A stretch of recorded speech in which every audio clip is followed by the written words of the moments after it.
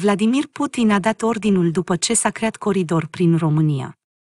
Vladimir Putin a luat o decizie radicală, imediat după ce au fost create două coridoare, unul dintre ele prin România. Trupele liderului de la Kremlin au început bombardarea. Despre ce este vorba?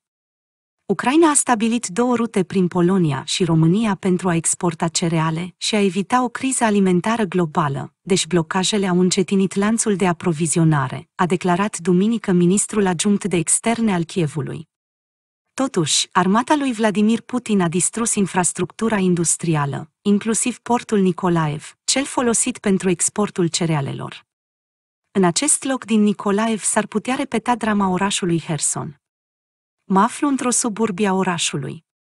În apropiere este un aerodrom, iar în jurul meu sunt foarte multe echipamente militare rusești distruse, dar sunt și obuze care nu au explodat.